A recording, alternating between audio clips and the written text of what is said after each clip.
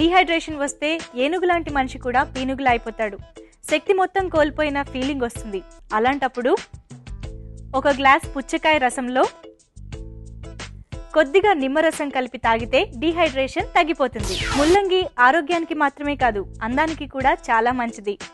ముల్లంగి రసంలో కొద్దిగా మజ్జిగ కలుపుకుని ముఖానికి అప్లై చేసుకుని కాసేపటి తర్వాత కడిగేసుకుంటే మచ్చలు తగ్గి కాంతివంతమైన చర్మం సున్నితమైన చర్మం మీ సొంతమవుతుంది. భోజనం తర్వాత తాంబూలం వేసుకుంటే రాజభోగంలా ఉంటుంది. కానీ అందులో సున్నం ఎక్కువైతేనే కష్టం.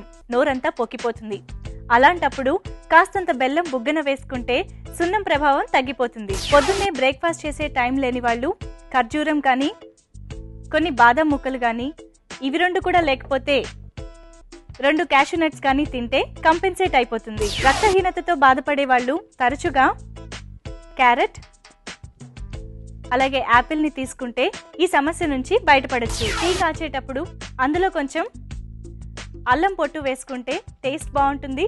అలాగే జలుబు దగ్గు లాంటివి కూడా రాకుండా ఉంటాయి.